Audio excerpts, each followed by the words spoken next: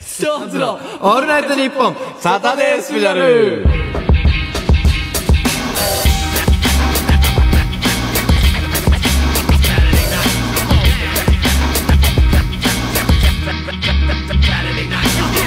こんばんは SixTONES田中樹ですどうもいっこく堂です。ジェシーですね。声が聞こえてくるよ。声は聞こえてくるよそれは。喋ってるんだからあれ遅れてくるのが醍醐味だから。一応そう言って言ってくだはい、よろしくお願いします。お願いします。お願いします。ということでですね、なんかその、まあ最近のニュースというか、トピックで、なんか YouTube から、その、ストーリー機能ストーリーがなくなるというお話。ストーリー機能そうなんですよ。僕も、その、ストーリー機能？僕、何インスタの話じゃない？違う違う、YouTube です。あ。僕もその気持ちはわかります。その、インスタグラムとかにもある、その、期間限定の投稿みたいなやつらしいんですよ。うん。その、インスタってさ、そのストーリーは24時間で消えるんだけども、YouTube はその 7, 7日間、1週間限定らしくて、なんかまあ理由としてはそのショート動画とか、ほその普通のライブ配信とかの機能の方を優先して、そっちがこうより注目を浴びるようにという意味なのか、そうで、っていう判断らしいんですよ。う。まだいつなくなるかわかんない。うん、ちょっとそうわかんないんだけど、細かくその YouTube にそのストーリー機能ってああった知りません。知らないよね。はい。こんだけ俺ら YouTube やってきてジュニア時代から、もう何年やってる？だって。何年2018 2018年ぐらい。年ぐらいだから、5年？5年ぐらいやってて知らないんですよ。知らないね。多分俺らもまあもちろん公式の YouTube やってるけどね、その、きこの機能使ったことないよね。多分世の中誰も使ったことないね。え、よわかんない。けど。海外の方とかはより使われるのかな？わかんないけど、俺が登録してるそのチャンネルの人とかも、あんまり使ってるのはイイメメージないから、馴染みはないんだけども、俺らもうだから多分使っ、多分俺らが記憶ないだけど、スタッフとかは使ってんのかどうなんだろう。なわかんないけど、使ってたまあらすいません。うん 使ってたら非常に申し訳ない。すいませんね。でも俺らはそうちょっとあんま把握できてないんだけど、インスタのストーリーとかね、そうガンガンもう更新してるじゃない？まあライブの時とかはもちろんだけど、なんかその個人仕事だったり、なんかあるごとに更新し、今日北斗はなんかあげてたよ上げてたね。新海さんの、うん。なんかスズメ鈴のやつ上げてたけども、そうガンガン更新してるけども、え、ち、ちょっと、その、俺らの YouTube でストーリー更新してるの見たことある人います？これ聞いてる人で。ないんじゃない？もしいたらちょっとね、知りたい。そうねうん、多分ないと思うんだけども、これ7日間限定ってさ、もうほぼ普通の投稿じゃない？ね ?7 日間見れちゃうわけだから。ねあんまり効果がねあるのかどうか。24時間でこうインスタとかって消えるから、こうなんかね、こう見見て、なんかその、よりこう消えるからどんどんどんどんこう更新しやすかったりするけど、1週間残るからね。たまに俺らなんか1週間でなんか消したりするときあるしね。あるね。あのなんかこのいろんなななんとかリスニングパーティーとかさそういうの 1, 週間ぐらいで消す時全然あるからね。あれってストーリーだったのかな？あれが？あの？音楽のやつ。違うか？違うんじゃない？さすがに違うかな？うん。もうじゃあゆショートはさめちゃくちゃ見ない？あでもげてるね。え見ない？じゃあのみあ自分が。あ見るよ。あ、まあ、自分たちもさ。見たらもう一日経ってるよね。えやばい。本当に。YouTube のショートと TikTok とインスタ？これもうねスクロールしてもしても抜け出せないこれ。ずっと見ちゃうマジで時間解けるこれ。うん。いやこれねマジで1日。一日本当に気づいたら。おこれしかできませんって言われても いけるもんね、うんこれだけで1週間。ずっと見てられるよね。いやマジで不思議。俺今日もだってここ来るまでずっと TikTok 見てたじゃん車の中であ車でね。であの打ち合わせ終わってからさ30分40分ぐらいもうずっと TikTok 見てるし。見てるでしょ俺。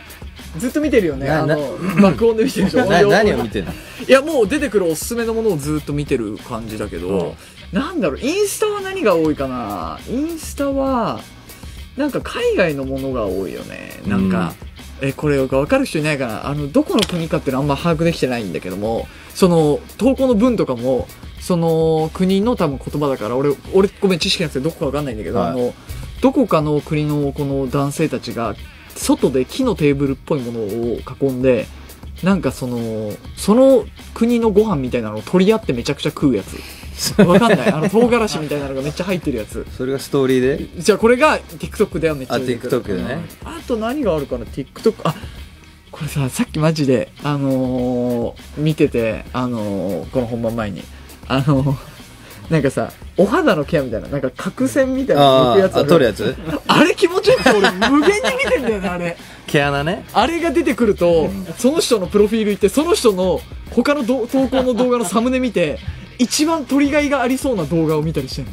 え、あれ見ちゃうのわかる？気持ちいいよね気持ちいいのよ、あそれはれ。買わないのそういうのえ、何？どういうこと？でそういうあいいやつだなみたいなああ、そ機能の、的にああ、それはないけど、うん気持ちいいな。俺もこんだけ撮れんのかなとか思ったりする。買えばいいあれ気持ちいいんだよ、見てて。あ あとはね、まあなんか映画紹介とかさ。うん。これでおすすめの映画知ったりとか、あと、漫画の広告とかちょいちょい出てくるよね、TikTok って。えー。それで漫画を買って読んだりとか、実際だから広告の効果絶大だよね。俺それでもうめちゃくちゃ漫画いいお読んでる。客さんだね。そう。うん。めちゃくちゃいい。ありがとうございます。いいあ、え？投資してる人？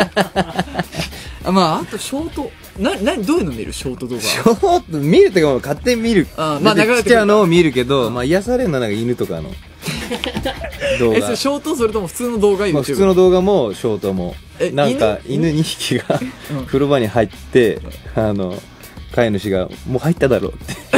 犬に対して言ってるのを。お前、いい動画見てるな、お前。でも飼い主も飼い主でお湯溜めて入れてあげてる。こいつ絶対お母さんお父さん優しいこいつの。あとなんかありえないだろっていうライオンとかと一緒に生活してる。あーどうあーあるあるあるあるたまにあるよね。なんかライオンとあのだるまさんが転んだみたいなのやってる動画えみたいー、犬が？なあそうあのライオンが。あライオンが？ライオンと人間が。あがやってるのとか見るの？そう。お前絶対あったかいご飯食ってそうだった。よ ないや冷たいご飯も食べるよ。お弁当とか。お弁当とか。いやーあ俺 YouTube はまあ YouTube の普通の動画だともうもっぱらゲームが多いかな荒野行動。だから今特に大会大きい大会やってるから、うん。それ見て一人涙したりとか。何ゲームで？いやじゃあ今ねその何それ？荒野行動俺大好きってずっと言ってるじゃない、うん。チャンピオンシップって大きい大会を今日と明日でその決勝戦をやってるわけ。あ本当。でその前がその決勝に上がるための予選みたいなのやってたんだけど、うんそれを見てこうなんかなかなかねこう人気あるチームなんだけどこう運悪かったり噛み合わせが悪くて決勝に何年も上がれなかったチームがお10位まで上がれるところでラスト1戦でめっちゃ頑張って10位に食い込んで決勝進出したの。うん。それ見た時に俺夕方6時に一人で家で泣いてて俺 もう号泣ゲームそう。でうわ俺も頑張んねえとと思ってゲームめっちゃ頑張った。ゲームかよ。うまくなんねえ仕事頑張れよ。なと思ってでもまあ YouTuber もっぱらゲームだね。ショートとかも。ずっとじゃん。うん多いね。あとまあ俺あと神業みたいななんか。あなんか凄技みたいなやつ、ああそういうのもそういうの見ちゃうよね。俺インスタのリールっていうの？インスタの動画は、なんかハプニング系俺は。ハプニングね。なんかさ、あの、アクロバット街中でこう、ちょっとあーやって。やったりして、ちょっとこう、頭が落ちたりとか。お落ちちゃったりとか、危なかったりするみたいなの結構。い。っぱいあるよね。えー結構ある。もうだからね見ちゃうよ、俺マジ YouTube のショート見た後、TikTok 見て、その後インスタ見てって、もうこの3つ回してるから、忙しいね。オフの日とかもうこれに時間取られちゃって。だからジュリーもなんか作ればいいじゃん。なに、どういうこ自分もなんかそういうストーリーをさゲームもいいけどとうん。なんかプライベートでさ自撮りして。あ、インスタの凄技でも何でもいいけどうん。TikTok でん回るようなものってこと？いやー、なんかさ、めっちゃ気持ちわかると思うんだけどさ、撮るのって違くない？わ かいやいる？やみんなに言ってもさえ、なんか見るのっていいんだけどさ、撮る、自分が出るって違う。だから俺、あの、みんなにさ、見てね見てねとか言うけど、TikTok とかでストーンズのとかちょいちょい出てくるわけよ。うんなんか最近はね、こっからの虚無のあソロそうねのとか、はいまあ自分のも出てくるんだけども、なんかね、自分が出てるとね、飛ばしちゃう。なんかね、自分をあんま見たくないのよ。見なきゃいい TikTok での撮ってマネージャーに送ってお前見なきゃいいんだよだからなんか出たくいないんだよね、なんか。あそこはもう俺の中でなんかその、空の上の世界でやってほしいの。TikTok とかは。自分が出たくない感覚があるのよ、なんか。見るからいいみたいな。いいじゃん耳欲しいって今日こんぐらい食べました 俺が掘ってあげるからそう、こいつは、今もう、あの、TikTok とか関係ないんだけど、こいつ雑誌の合間とかに俺の耳かきしてくんだよ、こいつ。久々にやったねこの間、4 5年ぶり みんながソロカット順番に撮るからさ、ちょっと空き時間あって、ジュリ、ちょっと久々に耳貸してって言われて、え、何と思った？ら、こいつ黒い目、よく撮れる綿棒持ってて、ちょっと俺の、俺の顔を押さえてきて、俺の耳かきしてくんの。こいつ、撮影の合間とか気に。持ちいいんだよななんか、妹の耳かきをよくしてたらしくて、してたね耳かきするのが好きとか言ったら掃除するの好きなんだよね俺、耳かきされんだよ。じゃあ、俺とジェシーで綿棒 TikToker になる。綿棒いいじゃん。ジェシーが、綿棒ね TikTok、あるよ、たまに。あのー、耳掃除をすげえする、そのうんすごい小型のカメラ多分入れて綺麗に撮るみたいなやつあるから。だからまあ見たくない人は見なくていいけど、そう。ある一定のコアな層はいるから、そう俺そういうの気持ちよくて好きで見ちゃうタイプだんから。見れるよね。だからもしかしたら本当思わぬ新規の層に響く可能性があるよね。いいじゃない。そっからもしかしたら俺らのライブに来て、うちわとかに、綿棒綿棒、綿棒してとか、掃除してとかうん、ね。耳くそ見してみたいな。うちわ が増えてくるみたいな。綿棒。ジャニーズが今まで獲得できなかった層のファンを獲得する可能性はあるよ。綿棒層ね。うん。ストーンズのね、あの曲流しながらみたいな。流しながら。Ready Fire! あそこの楽しい自分なん。だって言いながら耳掃除してるやつ。楽曲の宣伝にもなるし。なるしね。綿棒の CM も来るかもしれないし。えメモあ、それ繋がったらいいよね。繋がるよまあ俺そんな動画ばっかだな、見てんのはでも。いいね。うん。じゃあ、じゃあちょっと、これフリートークみたいにいきますかじゃあ。フリートーク？最近まあ何してます？もう俺、俺な、まあゲームしてるのはまあそうなんだけど、何してるかな、最近？あー、あ、絵買ったわ。絵を買った。俺さ、なんかさ、あまあジェシーうち来たことあるから分かるけどさ、絵結構飾絵あるねってるじゃない？で、まあ本当にこれ、それはその日は絵を買おうと思って街中に繰り出したわけじゃなくて、あ、じゃなくて。えっと、よ買い物1個し買い物一個して、で、友達とラーメン友達とラーメン食べて。いいのよ。その、オウム返しやめて。ラーメン食ってて解散したのよ友達がその後仕事あるっていうかう。ん。で、一人で、えっと、スクランブルスクエア？あのお渋谷の。渋谷の？あの辺にいたから、うん。そこにちょっとトイレ行きたくて、で、まあトイレだけ借りるのもあれだからと思って、ちょっとなんかお店見ようと思って、トイレ入った後に、ちょっとまあ、ブラブラしてたんですよ。下から上まで。うんいろんなお店あるから。そしたらたまたまそこで、まあ上の方、何回かとかまだ覚えてないんだけど、ちょっと個展をやってて、絵の。たまたまね。そう。本当にたまたまやってて、で、そこでこう、結構お客さんもいて、うんで、いろんな絵があって、なんかちょっとキャラクターっぽいものがあったり、ちょっとネオンのものほがあったりとか、なんかいろいろする結構神秘的な絵から結構シックな絵まで結構いろんな絵があることにそこをプラーって歩いてて、うわ、すげえいいなと思って見てて、で、一目惚れした絵をちょっとそのままう。そのまま。買いましたね。な、俺本当に知らなかったんだけど、で、さっきなんとなくこの話もしたいなと思って、なんとなく調べてたら、その方がちょっと有名な人だったらしくて、うん。なんかその俳優さんあがあ、だからお客さんもいっぱいいてね。そうそうそうそう後藤大さんっていう人なんだけど、うんそう、絵もすっごい素敵で、大きさどれれくらいなのえーっとね、どんぐらいって言ったらいいんだろう。まあ、正方形なんだ、なんだけど、どんぐらいなんだろう、これって。30か。40 3、40ぐらいかな、縦横。うん。そん、こんぐらい。こんぐらいかなあ、。そんぐらい？うん、こんぐらいだと思う。例えてよ。な、なにこの長、でかさを、うん。何に？でかさを例えると、はいこの、この絵絵のサイズを何か。サイズを何かに、東京ドーム3個分とかさ。あな、なんかそういうことね。なんかなんかああ、でもそれで言うなら東京ドームのファーストベース1.2個分ぐらい。ああ。それファーストベースどれぐらいなの？これ無限ループだから。ループしちゃうから。え ループしてるこれループ永遠に終わんないから。それも3、40かけで縦、縦横みたいなへーサイズのやつに出会って、買わせていただいて、本当にもう、奇跡的な運命な出会いで。トイレ行ってよかったね。うん、そう。で、あのー本当にいい絵で、まあ、結構もう絵飾っちゃってるから。今、いくつあんの絵？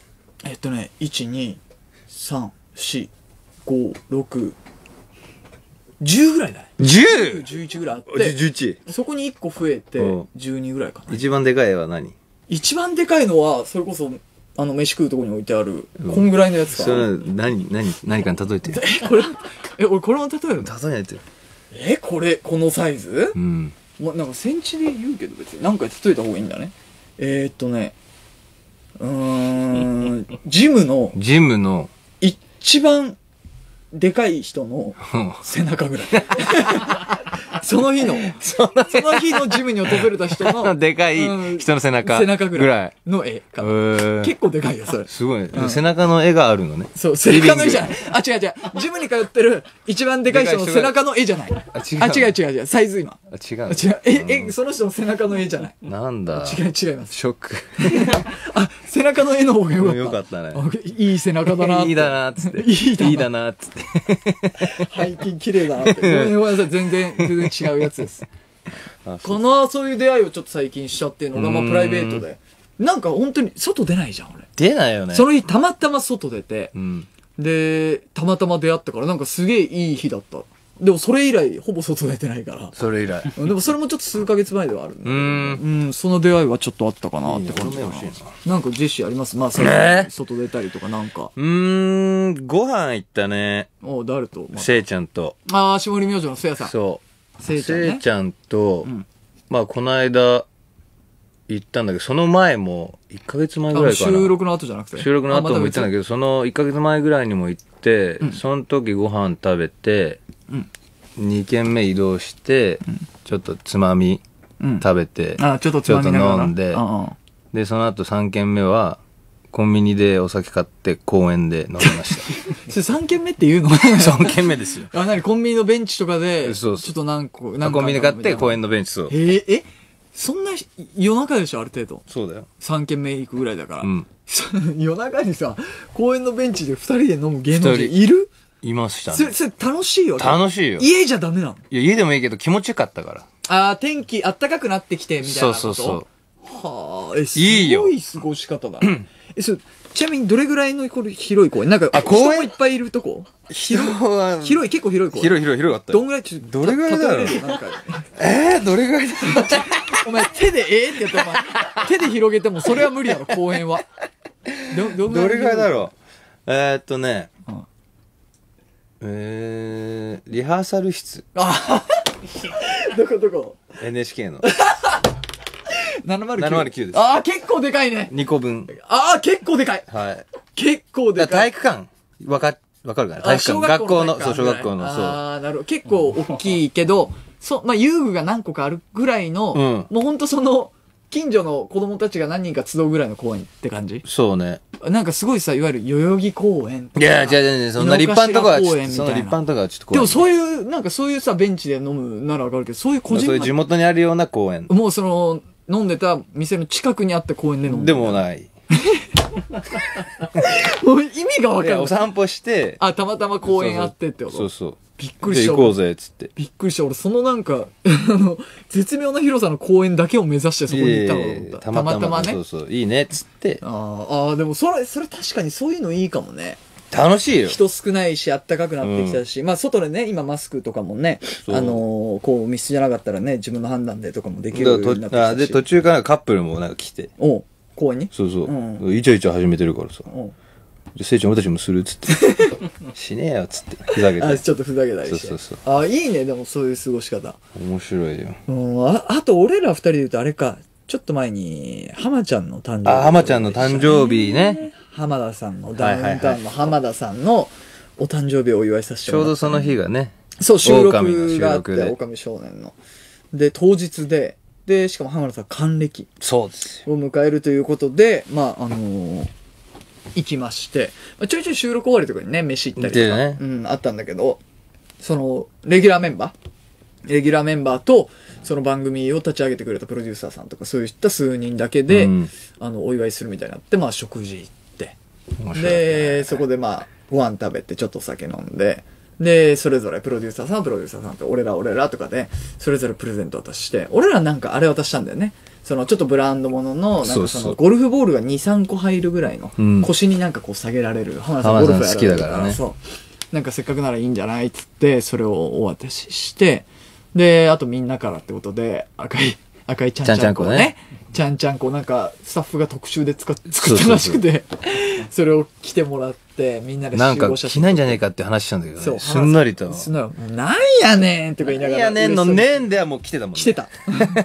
みんなで写真撮ったりして。だから来年は青いちゃんちゃんくん。ね、違う違う違う別に色違い年数で変わってない。あ違うね赤でろ還暦できるそうですか。で、その後2軒目行こうみたいになって、カラオケ行って。カラオケ行ってずっとなんか浜田さんがカラオケ行こうな今度って言ってくださってたから、そうそうカラオケ行って、で、浜田さんにね、ついに証明できたもんね。そうね。浜田さんがさ、ずっとさ、あの、お前らほんま歌ってないやろみたいな。口角やろ歌ってますよくいじられるわけ。いや、ね歌ってます、歌ってます。何年もつってて言われ続けてでライブ来てくださいって言っても、なんで俺会場に CD 聴きに行かなあかんねんってずっと言われてて。いや、歌ってぜます歌ってるんです、つって。で、ほんまか？じゃあカラオケで聞くわ、とか言われてて、で、カラオケ行ったら、最後の浜田さんがちっちゃい声で、ジェシーとジュリーほんまうまいなーって言って、そう、浜田さんにね、認めてもらって。ようやくですよで、ね。最後、まあ、浜田さんもなんか歌ったんだよ、ね。歌いましたよ。最後、締めでね。締めに、ウォートナイトと、チキンライスと。チキンライスと歌っていただいて、もう全員で大、うん大合唱して。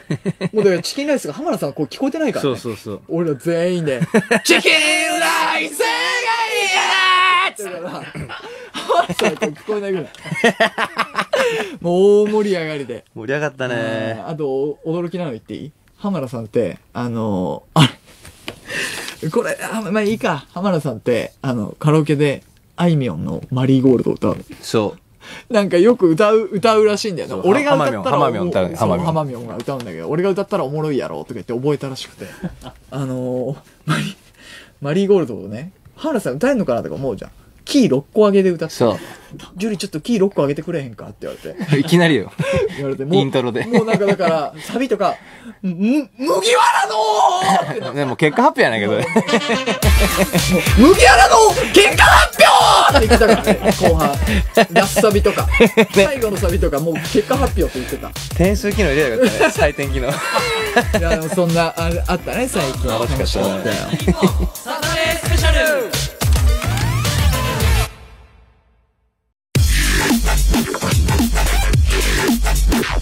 SixTONESのオールナイトニッポンサタデースペシャル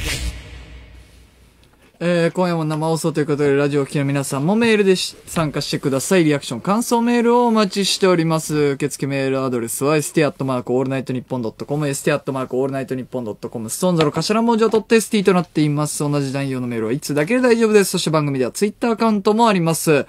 えーアカウントアットマークストーンズ ANNSAT 放送中ハッシュタグストーンズ ANN をつけていっぱいつぶやいてください。それではメールをお読みします。えーラジオネーム、はるかなる花粉症さんからです。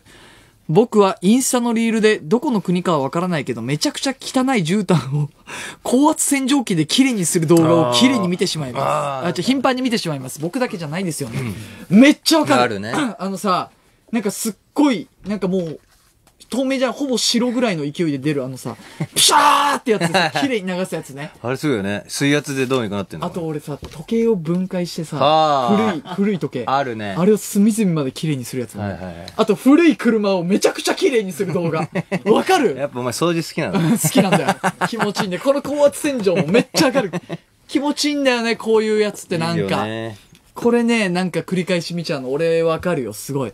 心も綺麗になるこからねれ、俺んちもやってみたいなって思うもん。やっちゃおうじゃん。うん。一応そんな、い YouTube で回そうです。や、お前全部動画にしようとするじゃん。続いて、エルワトソンさんからです。私は TikTok に日用品を綺麗にストックしていく動画が流れるといつの間にか朝になっています。これわかるよ、俺。あの、日用品。海外の人とかが、あの、ボトルになんかこう、ジュースを入れたりとか、あと冷蔵庫に入れるなんか、カゴみたいなやつとかに缶のジュースをめっちゃ綺麗に詰めてうん、ストックしていくやつがあんの。で、あとこうなんか、透明な、なんかね、この、ボトルみたいなやつにお菓子入れたりとか、えーしてめっちゃ綺麗に収納。日用品じゃないんだけど、俺もそれはもう見る。それだけの動画、めっちゃ気持ちいいの。それで一日が経つんだそ。れ一日は経たない、でも俺は経たないうん。さすがに。半日？いや、でもね、1時間ぐらい見れる。1時間ぐらいねマジで。うんいや、でもね、勉強にこなるしね。気持ちいいのはめちゃくちゃわかる、この人が言あ。となんか、瓶ビールをなんかコーンってやってさ、なんか、ほっつって食べてさ、めっちゃ見る。ごくごく飲んでる人。でこれ僕のリクエスト曲聴いてください。タイベルです。How Deep?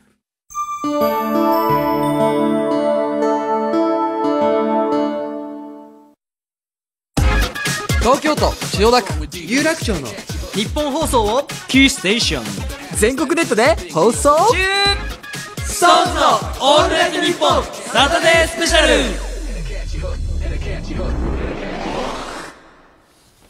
はい、じゃあメールなんつうかお願いします。はーい。まずは、ラジオネームカンパネラさんからです。お 綿棒 TikToker のお二人にお伝えしますが、ショート動画は開始2秒が勝負です。多分お二人は、撮れた物を動画の最後までおお楽しみにしたいでしょうが、それは逆で、うん動画が始まった瞬間、耳垢のドアップで始まって、そこから耳かきの過程を映すのが効果的です。参考までに。まあ、それもやってみいるかや、ありがたいね。ね。いやー、ありがたい、助かるよ。じゃあ最初に、物こんなものが撮れたよっていう、け、オチを見せるってこと？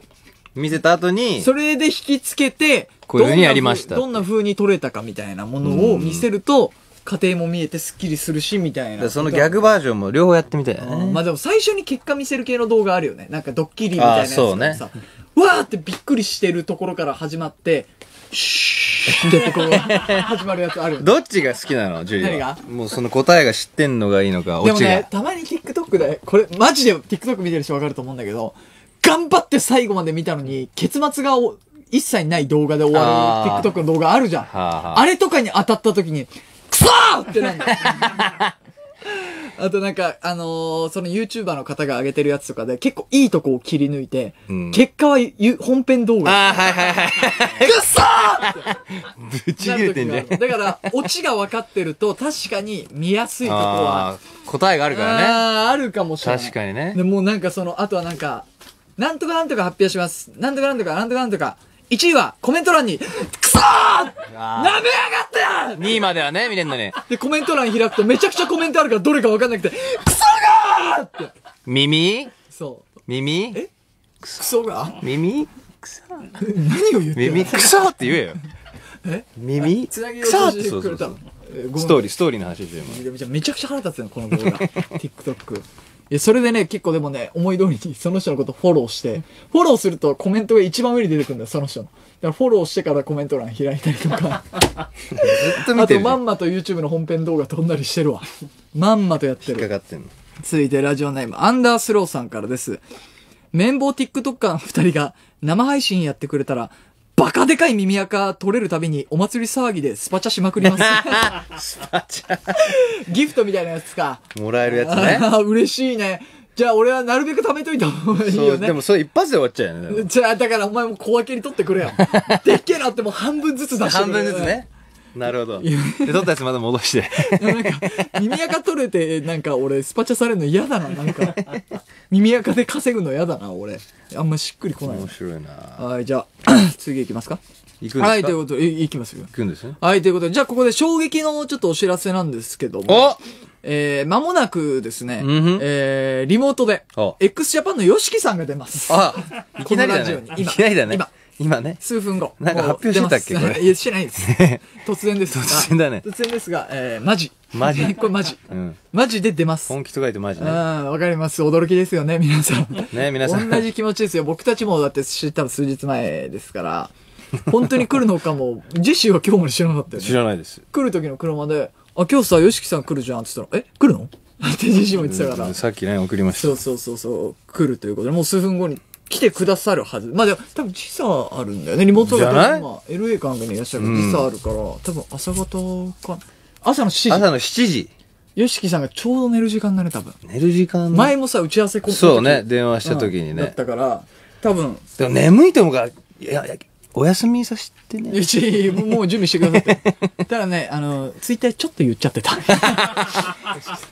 ちょっとだけ言っちゃってた。ちょいとねうん。ちょいと。ライブの時もちょっとインスちょいとねちょっとインスタとかツイッターちょいとやっちゃっ言ったから。うんあの、出ます。なんか深夜のラジオ出ます。起きてられるかなみたいな。ちょっと言っちゃってた。そうそうちょっと気づいてる人いた。はい。ということですけども、まあ、あのーまあ、なんか突然ヨシキさんが訪れる番組みたいになってるよね。いいよねなんかそれがおなじみみたいサな。プライズ。なんか神出鬼没で現れるみたいなことになってますけども。まあ、あの早速、ヨシキさんのスタンバイができ、あ、できてます？じゃあ、つなぎますか。はい。じゃあ、ということで、本日のゲスト。今、ちなみに今日スペシャルウィークとかじゃないよね。通常会ね。通常会に来てください。ということで、本日のゲスト、x ジャパンの YOSHIKI さんです。よろしくお願いしますお。願いします。あれ？あれ？あ、お願いします。お願いします。さん聞こえますか？ああ、よろしくお願いいたしよます。ろしくお願いします。おはようございます。おはようございます。YOSHIKI さん、今、そちら、あ、朝ですか？朝のですね、8時、8時です。いすみません、その、そんな朝早くに、多分 YOSHIKI さん、ちょうど寝られる頃ですよね。まあ、だいたい寝る 2, 時2時間後ぐらいですね。2時間後に。一番眠いタイミングだじゃん。申し訳ないです。すいませんちなみに、そち、そちらは、天気はどんな感じですか、気温は？今、ロサンゼルスで、なんか、曇り、曇りですか？曇りですね。曇り。今どんな格好してますか？YOSHIKI さんの服を、はい。はい。今、今、パジャマ。パジャマ。じゃあお前だけ友達みたいに話すな、ジェシー。ええ、飲み友ですから。今回で YOSHIKI さんが3回目のご登すごい場ということでとうございます3回目？はい、3回目でございます。1回目が、はいえっと、コロナ禍の時のリモあ、そうね、ート、リモートだ。で、2回目がスタジオに来てくださっての今回3回目ということでございますけども。でじゃあ前準はい準レギュラーですね。準ねその、ヨシキさんが準レギュラーなんて、そんな豪華な話あります？ありがたいですえーもうで、前回ブースに直接ヨシキさんが来てくださったのが、去年の5月22日なので、ちょうど1年前なんですすよ。ごいね。あ、本当だ、そうだ。はい、ちょうどすごい1年前ででして、その時に、あの、放送で、あの、東京ドームをやったら来てくださいってお願いして、約約束をしていただいて、この間、今年、4月に来ていただいたんですけども、その、初のね、僕たちの単独ドーム公演にはい。サプライズで登場していただいて、まあ、イミテーションレインコラボプラス、いろいろ YOSHIKI さんも弾いてくださったりうん。して、っていうことでしたけども素晴。らしかったですね。なんかあのーまあ、ヨシキさんデビュー前から僕たちを知ってくださってるじゃないですか。はい。あの、ライブも後半戦見ていただけたと思うんですけども、い、いかがでした？いろんなアーティストを見てきて、しかも、なおね、現役でトップにいるヨシキさんから見て、いかがでした？僕たち。いや、やっぱり、なんかちょっとジーンとくるものがね、ありましたね。ありがとうご嬉しいでざいます。すね。僕自分の出番が終わってすぐにはい。着替えて、あのね、客席にいた、客席というか、はいはいはいはいはい。うん。見ていただいて、で、まあなんか、あの、感想もね、その後終わった後のご挨拶で言ってくださったりして、俺ね、ちょっとね、やっぱね、イミテーションレインでヨシキさんと目合うとちょっと泣きそうになっちゃうんだよね。来るよね。俺も結構なんか泣きそうになってたけど。危ないですよ。あれでみんな泣いちゃって、シーンってなって、それもまた感動的ですけど。一回、あの、日テレの音楽番組でもあそうですね吉木さんとイミテーションレインやらせていただいた時も、俺もう泣きそうだって、うん。でもダメなんだよ。もうなんかその、今まで頑張ってきたものとか、いろいろ考えて、今なんか、ヨシキさんもなんかその、なんかもう大先輩ではあるんだけど、勝手になんかその、お父さんじゃないけど、見守ってきてくださった方みたいな、僕たちのプロデューサーみたいな思いがあるから。テーションレインから始まりましたからね。本当にそうじゃい。ない。ジーンときちゃうね、あれね。来ますよね、やっぱり。うん。いや、でも楽器壊さなくてよかったですいや、。もうそう。テンション上がりすぎて壊さ。ないと。ドラムとかね。うん、で、その後、まあ、ジェシーの急なお願いで、改造ジープで東京ドームを走るという走りましたね。あれ面い。白かったね。あ、本当ですか？うん、面白かった。また乗りに来てください。ぜひ。一回なんかでも俺、ジップから落ちそうになったと思う。申し訳ないです。コーチも緊張してて、多分、運転が。ね。で、その、ヨシキさんがちょっと、あの、つまずかれた瞬間があったから、ヨシキさん大丈夫ですか、って終わった後に、すいませんって言ったら、大丈夫、僕ステージから落ちたこと何回もあるからって。その覚悟あるからっておっしゃってました。そうそうそう。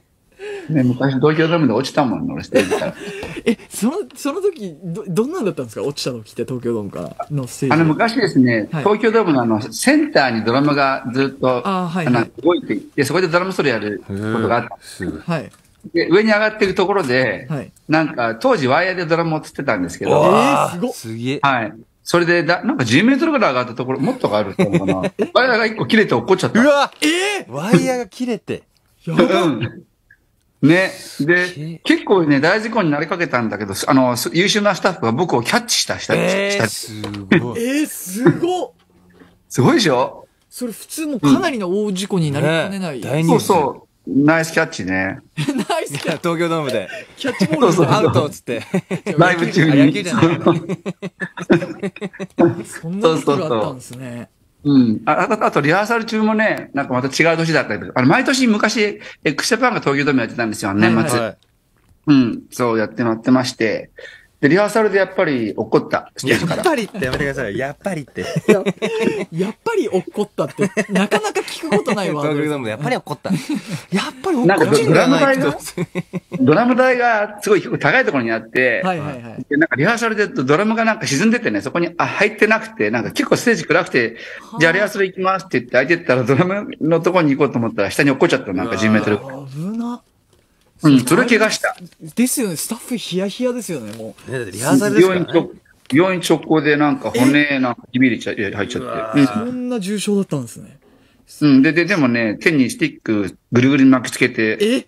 2days やった、そのうまま。わーそう思うと俺らのステージって安全だな。安全怪我な ジープでも怒ったけどね、ジープでも。でも今後も、あの、ヨシキさんが見見に来てくださるってなったら、ヨシキさんのためだけに俺らジープ用意するんで。はい。あれ？えっ、と、ジープのとこだっけ？俺インスタ撮って、インスタ撮ったのって。ステージだっけ？ステー。ジですよね。そうですね。ジープでも京本が写真撮ったりとかいろいろ。あそうだそうだ、そうだ。隣も、そうだはい。ヨシキさんの携帯でもあ、そうですね、動画回していただいて。あ、じゃあ近々、あの、許可取ってあげます。あお、願いしますぜひお願いします。インスタとか、ツイッターにおね願いします。セルフィーなんかジェシーが面白い顔してたな、確かに。変な顔してたね、写真。あとあのー、プールのハヤトさんとの写真もお願いします。なんだそうだよね。なんか1年ぐらい前だよね、あれ。1年ぐらい前そうです。かね。本当の友達みたいな会話してるじゃん。プールの写真もお願いしますね。そうです、そうです。あ、そんなことがあった。去年そう、ドラマ撮影中に、ヨシキさんが日本にいるということで、僕が遅いんですけど、お邪魔していいですか？って言ったら来ていいよって言って行って。え、それってあの日？そうあえ、ちょ、その話聞きたいんだよ。あの、このラジオでヨシキさん何度かお話ししてるんですけども、そのはい。ヨシキさんとハイドさんの食事会に、なぜかジェシーもそのホテルだっけ、にいたっていう話が結構話題になったんですよ。はいはいはい。で、あれね、はいはい。ジェシーね、急に、急にテキストが、あの、なんかメールみたいにあったんそうですあれ。LINE、LINE って言うんだっけ？はい。?LINE。LINE で、はい。で、たまたまなんかね、例えば、1ヶ月偶然この日に食事とか行った時に、この日は僕空いてますけどって来るの、ジェシーが。はあ、なるほど。その時も、たまたま、でもハイドと食事しようって決まったのもなんか、もう3時間ぐらい前に、ちょっと、打ち合わせしないってちょっと結構し、真面目な話だったんだけど。うんうん。で、その時急にジェシーからね、いや、僕空いてますって来て、はい。え、そういうこと？って言って、で、じゃあ、じゃあ、じゃあ、あの、飲み、飲む？って言って、へえ。なぜか3人で飲んでた。そうなんですよ。え、なんかで、そハヤトさんいるとも知らなかったから、あ、僕。あ、そうなんだ、ジェシー。そうそうあ、言わなかったね。言ってないですよ。うああ、どうも、みたいな。びっくりしたでしょ。そう。で、真剣な話されててあんまり聞かないようにして、うんそう外とか見ながら、聞いてないふりして聞いてないふりしてで、。その時あの話じゃん。そう。で、その時に、ザラストロックスターズ、実はこのメンバーでやるんだよって、ヨシキさんも、まあ、ジェシーだからいいか、みたいな。え、でもジェシーはなんとなく聞かないふりしてた。ふりしてたんだ。無理だろ。そのメンバーのザ・ラストロックスターズ聞いて聞かないふりは無理だよ。だから、そう聞いて、うんで言わないでって、もちろん言わないですよ。そうだよ。ちゃんとジェシー誰にも漏らさずに。そうですよ。守り抜いてたあすごい緊張、緊張。その、ザ・ラストロックスターズが発表になって、ライブとかも終わった後にジェシーが実は俺その時聞いてたんそう、だよってたんだよっていう。メンバーにも言わなかった。言わないですよ、それは。驚いたよ。でジェシーがその場に、しかも、ヨシキさんがあの、ね、あ、そうね。パンと唐揚げを間違えたっていうおそうそうそう話が。あ、そうそうそう。あ、そうなんだよ。そのプ僕の、まあ、たまたま自分のいたホテルで、いその、ちょっとプール際で、はいはいプール際で唐揚げを食べてて、はい。で、ハイドが来て、で、ジェシーが来たっていう、そうですね伝わらないかな。えそれ、そのプールで3人で写真を撮ってて写、真を撮った、写真を撮ったのが、僕が送んなきゃいけないんだ。そうです。すげえ写真ならそれ。でも、このくだりもずっとやるのも面白いですよね。ずっと送ってくだもうさい。5年経ちましたよ、みたいな。いやね。ジェシーとユシキさんってどんぐらい、なんか、そういえば東京ドームの後も終わった後も、は打ち上げみたいな感じでお食事されてませんでしたユシキさん、ジェシーと。あれもね、ちょっとすごい、すごいと思ったのは、えはい僕その後みあの、あの、ちょっとだけ日本にいたんですよ。はいちょっとだけ。で、1日だけ、えっと、今年2回目の会食が入ってて、はいはい本当に。本当にで、その日だけなんか2個ぐらい会食入ってたんだけど、その日に急に、僕今日空いてますよ。えで、ジェシーに、俺のスケジュール知ってるでしょい。知らないですよ。あ たまたまたまたあま。ったんですね。そへえ。それで、こう、まあ、東京ドームあれ何日だったっけ？次の日、次、2う。日後、2日後ぐらい、3 3日日後、そに。う。で、感想聞いたりあ、いろいろ話せない話もしたりして、ああ、まだいろいろはお話ししたりしたんですね。楽しかったですね。いや、またでちょなんとはい。すごい人と会食入ってたんだけど、なんかそのビジネス系の。はいはいすごはい弟子も、来ちゃえばいいや、みたいな。みんなで 飲んじゃおう、みたいな。飲みましたね。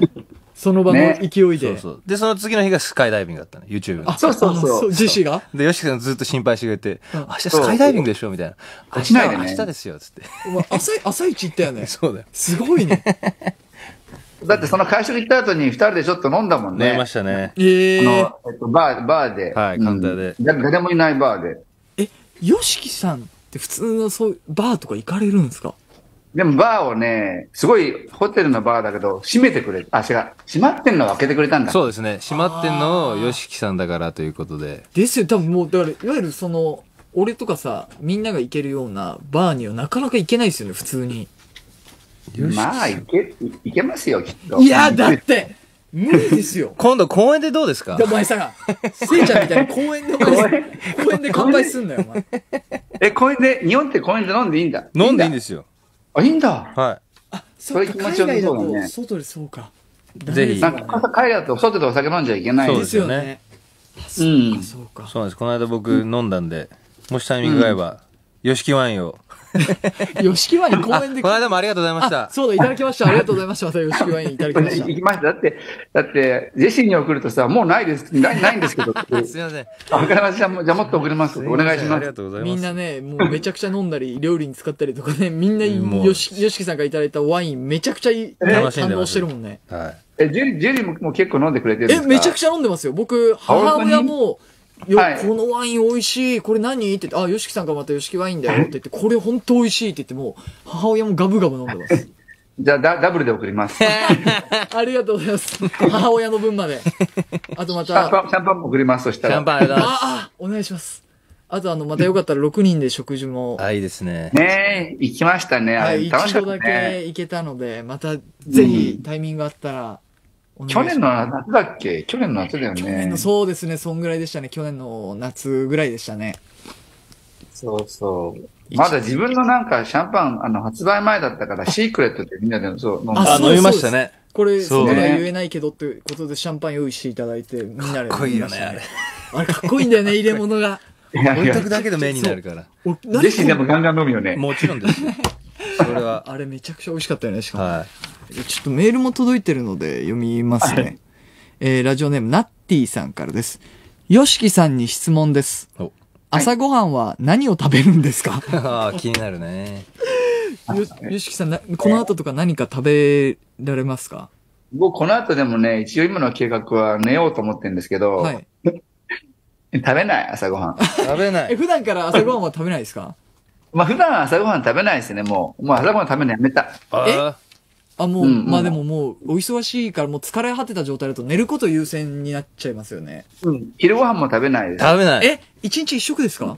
夜ご飯も食べない。夜ごはんはたまに食べます。え、たまになんですか？たまにというか、まあ、まあ、3日に2日は食べますね。え、何も食べない日があるってことです食かべない日ありますね。え大丈夫なんですか？うんあんまり大丈夫ですね。えぜ、ダメですよ、よしきさん。食俺べないとが言っとじゃないけど体力。体力が。よしきさん、だって、そもそも睡眠時間もなかなか確保できないで、お仕事忙しいですのにし。、でも意外に体力あった、あったでしょ。この前のだって、ストーンズのドームのリハーサルも行ったもんね、ちゃんと朝。はいや、ありがとうございます。い。午前中に来てくださって。僕たちのためにね、はい3日連続。すみません、ありがとうございます。いえいえ、大丈夫ですよ。あんまり食べないですね。食べないですね。それであのパフォーマンス。じゃあ続いて、次のメールいきます。はい。ラジオネーム、ゆうごだもんさんからです。よしきさんの昨日の晩ご飯は何でしたか？ずっとご飯の話。なんで昨日のさ、晩ご飯、昨日の晩ご飯は、食べた、食べなかったですね。最近食べたご飯何ですか？リスナーが最近、最近食べたご飯はサラダ、サラダですね。サラダサラダ。あの、お前らなさ、ケールのサラダ。ケールのサラダですリスナーのやつら、お前らもっとさ、ちゃんとした質問しろよ。ご飯のことばっか聞け。もう時間を無駄にするなよ、よしきさんの。ご飯、ご飯、ご飯、ご飯って。食べてませんよしきさんは。ケールサラダと、でもお酒飲んだ、えっ、ああ、そうと、なんですね。ロマネコンチ飲んだ。あおわ、いい。めちゃくちゃいいお酒だ。いいお酒ねだ。なぜか、ラターシュの、ラターシュ。あら。ちょっと続いてのメールもちゃんとした質問でしょうね。いいですか、よしきさん。はい。はい。えーラジオネーム、ジャンボマンさんからです。よしきさんは、公園の遊具なら何が好きですか？もうメールやめろ、お前これのリスナー遊具なら、が本当すいません。まあ、滑り台、公ブランコとかいろいろあります。って何？あの、ブランコとか滑り台とか。まあ、ブランコ派かな、俺は。ブランコ派だ。皆さん、ヨシキさんブランコ派です。え、よしきさんって公園で遊んだことあるんですか？ありますね。ブランコ好きですね。うん。よしきさんがブランコ派よしきさんがああのチェーンに捕まって前後に振ってるってことですか？結構好きですね。結構好きですね。想像できないよしきさんの今度行きましょうよ、ブランコある公園。ブランコ誘うそれでな、え？ブランコ、ワインワイン飲みながらブランコやりますか？いいじゃないですか。絶対面白いっすよ。じゃあお前ブランコ誘うなよしきさんお前いいいじゃない。やたた立ちこぎとかしますかよ立ちこぎしますか？しましょう、しましょう。しましょう二人乗りして。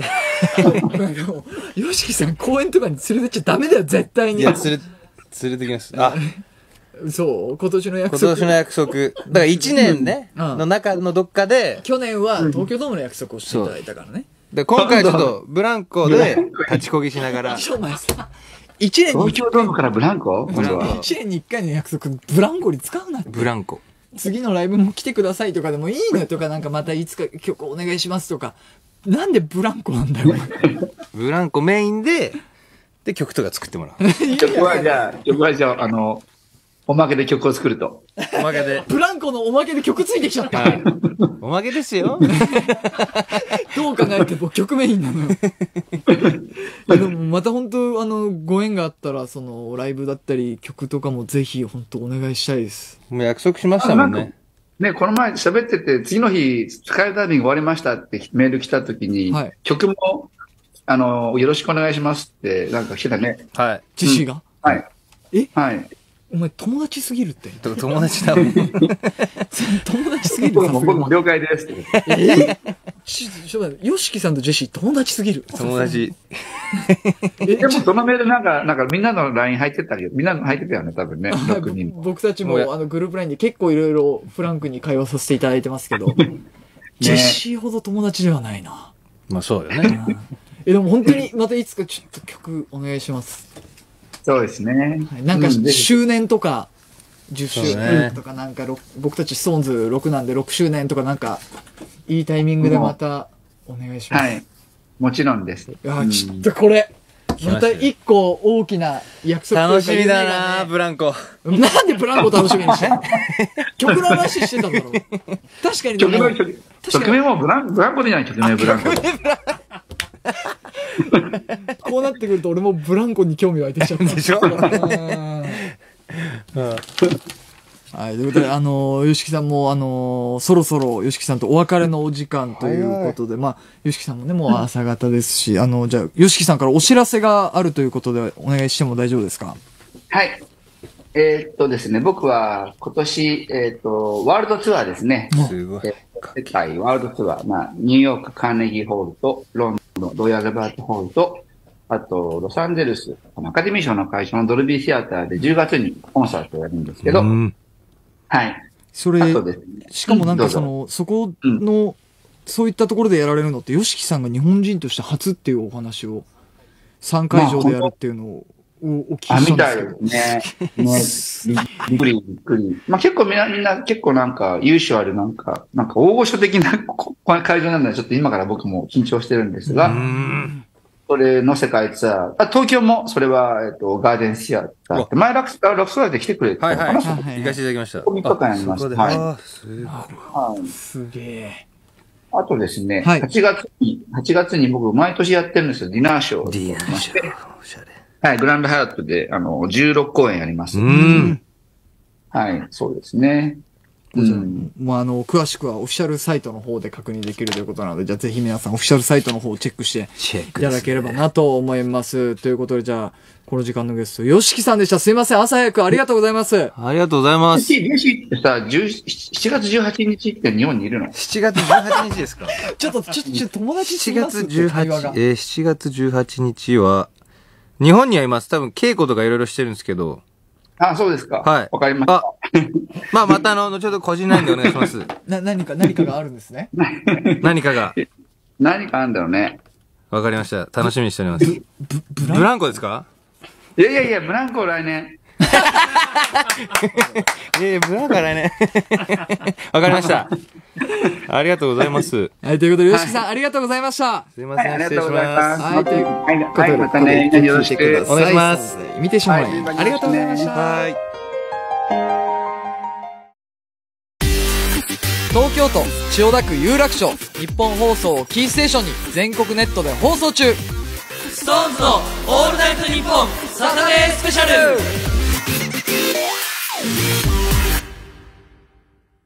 はいじゃあメールをお読みします、ね、えー、ラジオネームコッペピンポンパンさんからです。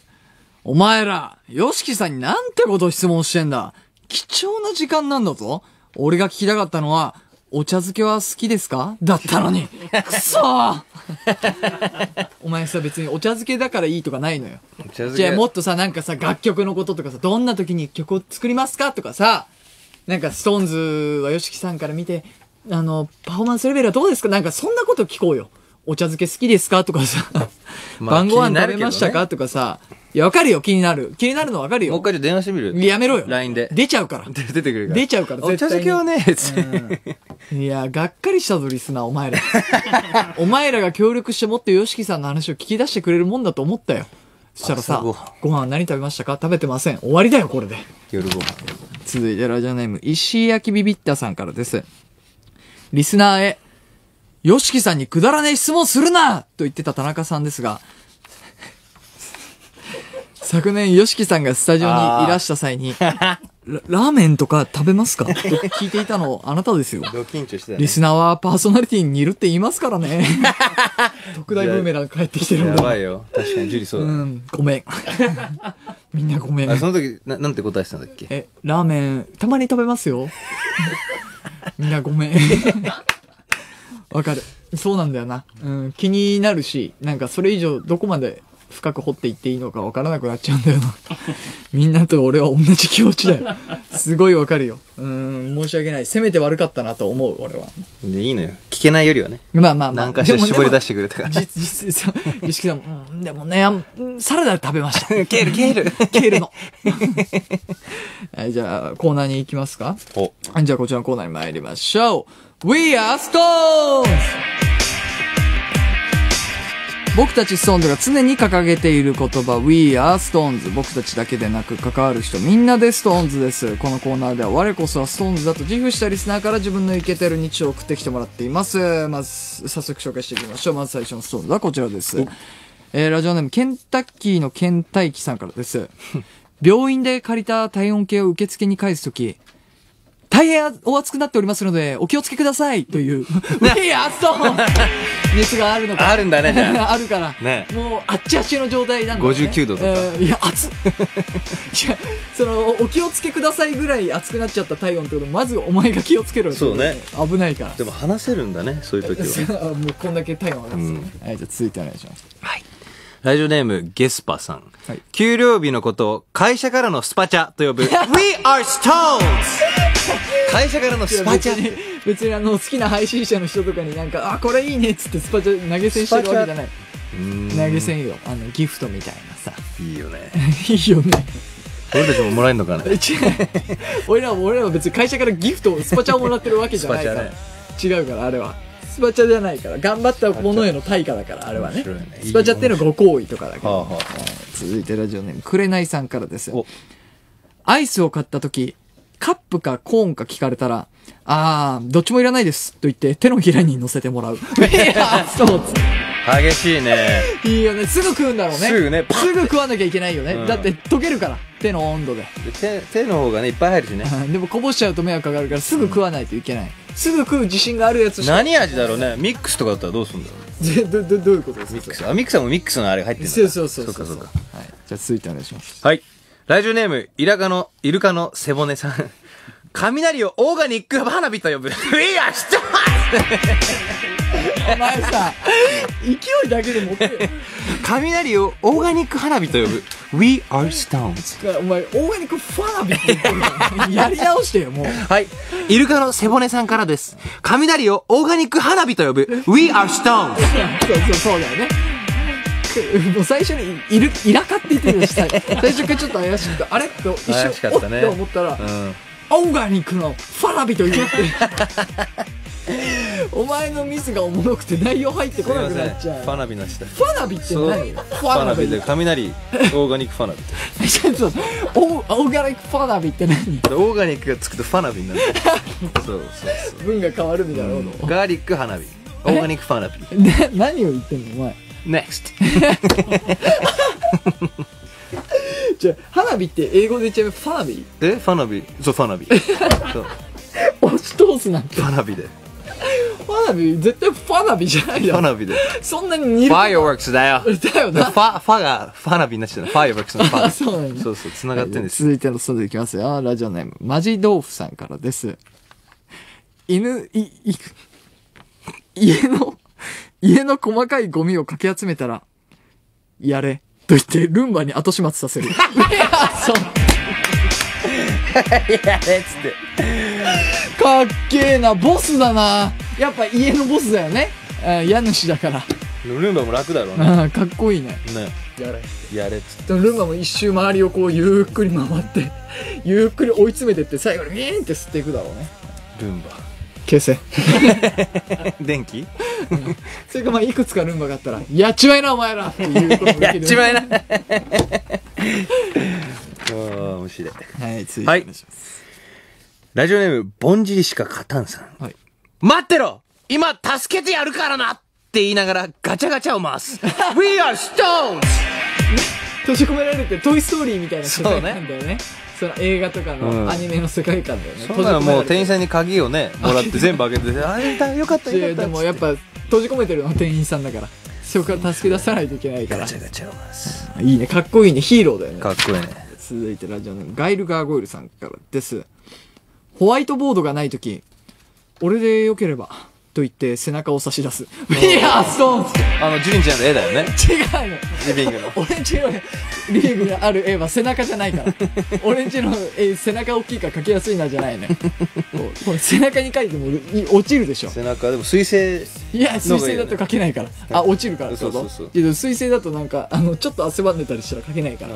それもアートだよね アートを描こうとしてるとこの人。それもアートだよね続いてお願いします。はいラジオネーム宇宙安全大善合ってますか？これね、宇宙安全大全。大善ね、はい。ラジオネーム宇宙安全大善さん。レジの待機列にある。こちらでお待ちください。の足跡のマークのことをバミリと呼ぶ。We are stones! バミリっていうね。えー、あれさ、めちゃくちゃ従わないあれに。めちゃくちゃ、あのもうさ、わかる？なんかその、矢この前の人との感覚とかもやっぱあれの上になんか立つよね。立つね。ジャストで。うん。ね。本能だたまにさ、あのーそれに従ってない人がいるとさ、なんか、あのーね、気持ち悪くなるんだよね。わかるあと車とかもちょっと白線よりちょっとはみ出たりとかあ手前で止まりすぎてもうちょっと行けばいい あ手前で止まりすぎる感じね。ああ、わかる。その足跡に沿っちゃうのめっちゃわかるな。続いてラジオネーム、春はあけぼの僕はのけものさんからです。料理の最後に小ネギを散らすことをマスタリングと呼ぶ。いや、そう。かっこいい最後ねに曲とかそうなんだよね。最後にこう、いろいろ調整してボリュームだったり、音を調整するのをマスタリングって呼びますから、最後に小ネギでね、微調整して完成になるよね。マスタリングしてねうんマス マスタリングって言うとかっこよすぎる気がする。いただきマスタリングっつってラジオネームわらみラジオわ ラジオネームわらちもちさんパジャマのことページマーという。We are stones! 書いてあるから。さっきのファナビじゃないからね。ちゃんと書いてあるんだよ。ほら。ページマー。ページマーっていう。俺じゃないからこれ。あなんか、あれかな？英語だと思って、あの、英語できないのに発音よくしすぎちゃうやつね。あたまにいない、なんかその、英語できるぶる人。いるね。めっちゃ英語で会話するね おい、これ好きだな。ピージム。ページマーっていうめちゃくちゃ気持ち悪いけど、めちゃくちゃ面白いね。ありがたいねヨシキさんが言ってたら面白かったよね。ヨシキさん今何着てますか？ピジャマ僕はね、ピジャマ。今何着られてますか？ファナビガのピジャマ。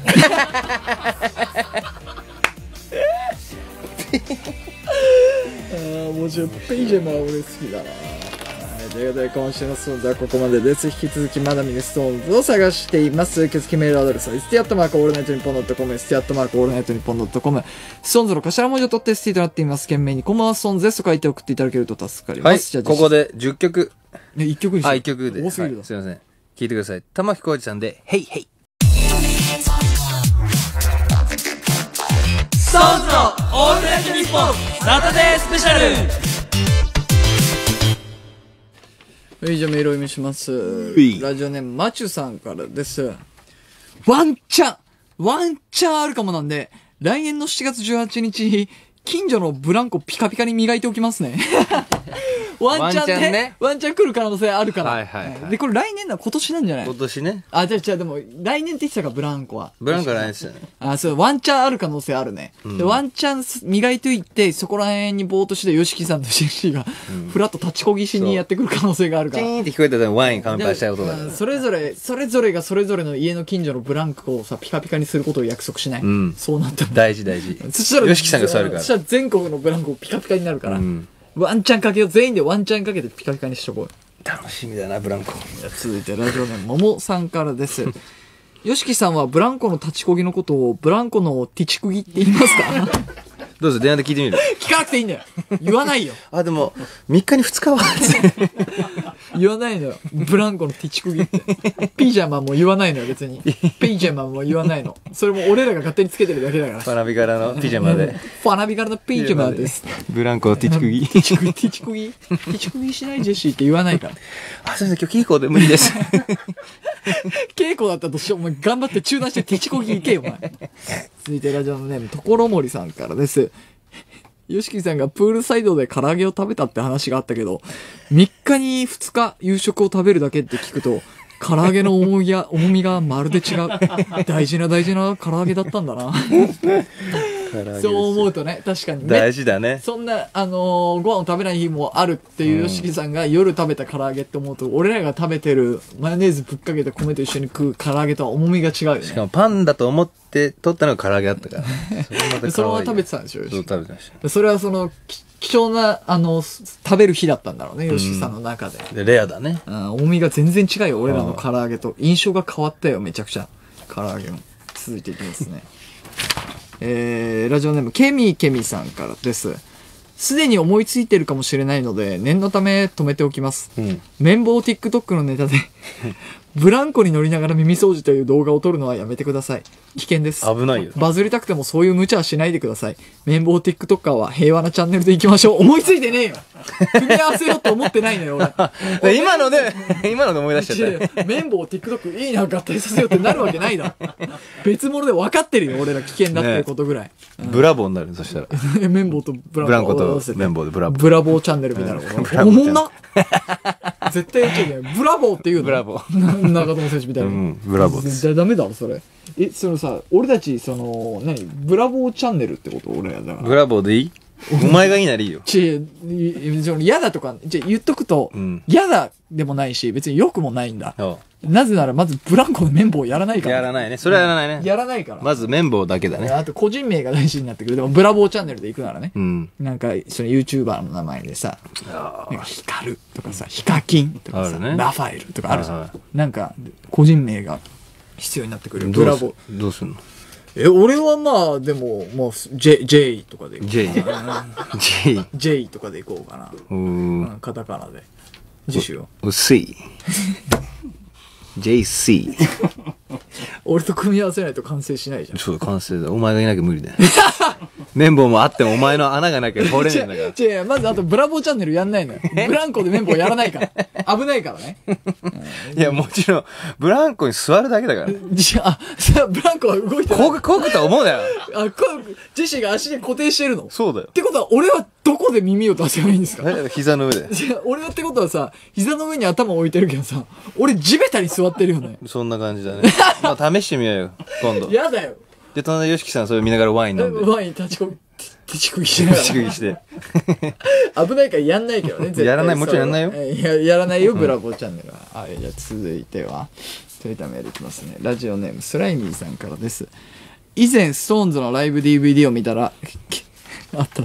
巨大なブランコみたいなものに6人が乗って登場する演出がありました。うん。ヨシキさんにあれをプレゼントしてあげるのはどうでしょう？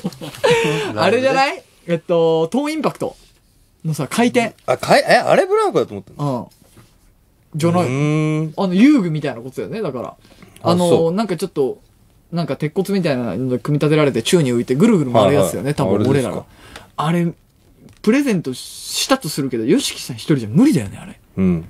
あれ、マジで人力で動かしてるじゃん。6人で体重かけて止めるときも6人で後ろにグーってブレーキかけて止めてんのよ。しかも飲んでるからね、戻しちゃうかもしれない。もうワインは飲んで、そうかそうそうワイン飲みながらって言ってたもんね。そう、そこは心配かなああ、そうか、そうか。回転しすぎると危ないか。うん違う、そういう問題じゃないの？まず回っちゃうから、いろいろ。違う、まずあれをどこに設置して、どこで吉木さんが乗るかって話なの。公園じゃ無理じゃん。公園にあれを置くのが。ってなると、吉木さん用に横割りを借りなきゃいけないから。そうね、あれ用に貸し切れ。ば。貸しなんでお前前向きに検討したの？だって、ブラボーチャンネルが無理ならもうそれぐらいはやらない。じゃあやんないの動かないと。やんないよ。じゃあ、それで言うと別に公園に吉木さんも絶対連れて行くなよ、お前。絶対連れてく。絶対面白いもん。絶対面白いもん。じゃあ、面白いで連れてっちゃう。お前だって、お前ボディーガードの人とかもついてくる。いやいや、いらないいらないいらない。俺が、お前、いらないってお前が言う。いらないなおなおなお、ストップストップって言って。俺がボディーガード。俺がボディーガードで。それで言うと、お前も危ないし。ボディーガードいた方が目立つもん、絶対。じゃあまあそうなんだけど、そんなさ、公園とかでさ、ヨシキさんがさ、あ、来る、来るね、こうさせられると思う？こうさせられる宝だよ。うん。で、1時間飯食って、2時間どうしようかっつって、ちょっと悩むよね。そうバー行く何ですバーでもやってないっすね、つって。あ、あ、いいとこありましたって言って、あの、公園連れて行けばいいんだよ。え、でも、でも、俺の、俺の、ちょっとごめん。俺の、そう、本当に行くなら理想一つだけ言っていい、うん昼に行ってほしい。昼ね昼ね昼の、犬とか散歩してる？ねお、お母様とか、お父様とかがってね。ところで、であの、ヨシキさんとぜひブランコた、ティチコギしてほしい。それは熱いね。昼の方がおもろいね。それは面白い。夜だったらまあバレづらいし人少ないうん。昼にね。昼にぜひ行ってほしい。だからまあ、朝まで飲んで、うん。朝ごはん食べて、11時ぐらいにから、公園じゃん。太陽浴びたいね、つっあー太て。陽浴びませんよ、四季さん。つって。うん。普段なかなかそういうことないと思うんで。いいね、つって。うん昼に、昼に公園連れてくる。それいいね。ピクニックとかしたいね。さすがに友達すぎるって。ピクニックがないじゃん、友達なんだから。公園までは面白いで済むけど、ピクニックは友達すぎる。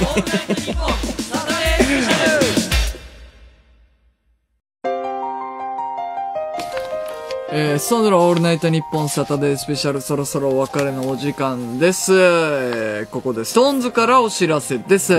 えードラマだが情熱はあるの主題歌でストーンズ10枚目シングルこっからが、えー、ね、流れておりますけども、そのこっから10枚目シングルが6月14日の発売まで3週間を切ったということでございます。MV もね、かなり回転数がいい、ね好評らしくてですね、あのもう僕たちももちろんソニーも大喜びでございます。2000万超すえて。ごいね、つって。もういろんな人に見ていただけてるみたいなんで、まあ、あの、発売まで3週間、もうすぐですから、まあ皆さん、YouTube のミュージックビデオを見てね、なんか一緒に気持ち高めたりとか、あの、TikTok に音源も解禁されたりとか、いろいろありますので、一緒にこう盛り上げて、3週間後の6月14日を、えー楽しみに待っておいてもらえればなと。思いますので、ぜひ皆さんお楽しみに。えー、その他最新情報などは SixTONES 公式ホームページ、また Twitter をご確認ください。それではお時間までメールをお読みします。ラジオネーム、釘松さんからです。こんなこと言ったらいけないのかもしれないけど、土曜深夜にラジオ聞いてる我々の中に、カーネギーホールの告知を聞いて、現地に行ける人がどれくらいいるんだろう行ける環境にいる方、絶対に、絶対にカーネギー行ってください。で、ラジオ聞いてきましたって言ってくださああ、それいいね。あ、世界の音楽の殿堂の、なんかすごい150年で、みたいな、なんか、ニューヨークにあるニューヨークいるかね いや、あの、リトルストーンにいるけど、いるかわかんないけど、ぜひこれを聞いた人とか、もし知り合いにね、ニューヨーク住んでますって人いたら、ぜひ聞かせてほしい。ラジオでぜひ行ってくれ。ラジオで聞いてきましたっていう人が現れてほしい。ねそうカーネギーに、ストーンズのラジオを聞いてきましたっていう人が現れてほしい。ブランコのくだり最高でしたっつって。本当に聞いてくれたんだってラジオネーム、カジノゲームさんです。ヨシキさんは、よしきさんはプールサイドの唐揚げをピールシードのキャラ揚げと言いますか 聞いてみる電話する？いいのよ。あと言わないでね、こんなこと。続いてラジオネーム、カナモロールさんからです。よしきさんがラジオ出たことツイートしてるのですが、ハッシュタグにブランコがついてます。ちょっと待って、ちょっと待って。前向き前向き。来あの人行く気だぞ、これた来た。あー、ティクコギだこれ ピチクギだよ、これ来たはい、ということで一部のお酒が生まれたこの後1時から、大乗りのオールナイト日本が放送されます。ここまでのお相手は、ストーンズ田中樹と、ブランコでした。ジェシーでした。でしたでした。